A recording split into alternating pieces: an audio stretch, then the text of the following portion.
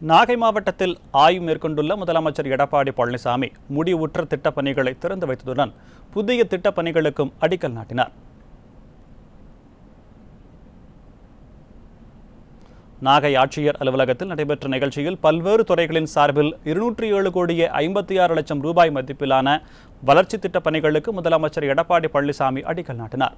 அதனைத் தொடர்ந்து நாற்பத்தி மூன்று கோடியே அறுபது லட்சம் ரூபாய் மதிப்பீட்டில் முடிவுற்ற பதிமூன்று திட்டப் பணிகளை துவக்கி வைத்தார்.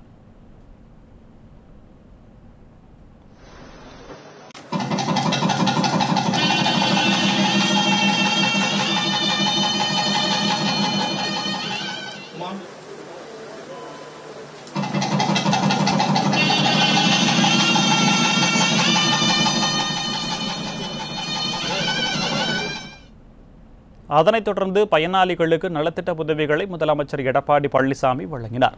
நிகழ்ச்சியில் கைத்தறி மற்றும் துணிநூல் துறை அமைச்சர் ஓ எஸ் மணியன் மாவட்ட ஆட்சியர் உள்ளிட்டோர் கலந்து கொண்டனர்.